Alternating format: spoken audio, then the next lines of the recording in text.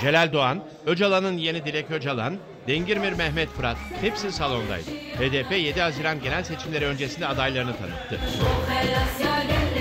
benim karar vermeme, netleşmeme sebep olan bir Alevi dostum ve bir Süryani dostum oldu. Tanıtım programında bir de sürpriz vardı. Selahattin Demirtaş'ın da sazıyla eşlik ettiği seçim şarkısı Bizler Meclis'e de program boyunca çalındı.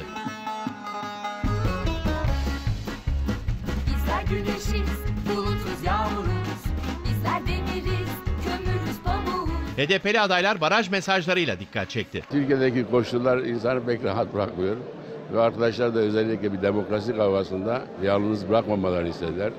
Çorbaya tuzum olsun diye arkadaşların demokrasi kavgasına katılmaya geldik yani. Türkiye Cumhuriyeti Devleti vatandaşı olarak bu yaşta ve karar vermiş olduğum halde siyaseti meclisinden bir daha ilgilenmeyeceğim dememe rağmen olağanüstü bir hal nedeniyle bu rejimin müdafası için yine elimize o siyaset silahını alarak e, meydana çıkmak lüzumunu hissettik. Seçime Şanlıurfa'dan aday olan Diyarbakır Eski Büyükşehir Belediye Başkanı Osman Baydemir umutluydu. Türkiye'nin bütün farklılıklarının, çeşitliliklerinin, zenginliklerinin gönülde ittifak ettikleri bu halk hareketi baraj uygulamasını ortadan kaldıracaktır. İmralı Adası'nda ömür boyu müebbet hapis cezasını çeken Abdullah Öcalan'ın yeni Dilek Öcalan ise ısrarlı soruları yanıtsız bıraktı. Daha sonra değerlendirirsek kendi bölgemizde.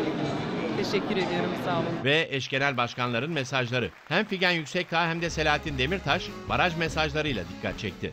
Partimizin aday listesi ben başkan olacağım diyene karşı bizler demokrasiyi, özgürlüğü ve yeni yaşamı kuracağız diyenlerin listesidir.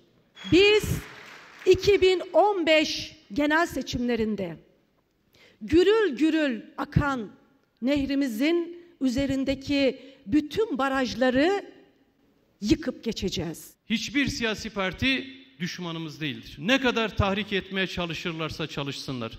Siz Türkiye'nin ana renkleri olarak Zaza ve Laz inadıyla çalışarak ulaşacaksınız ona inanıyorum. Program sonunda tüm adaylar bölge bölge kürsüye çağrıldı.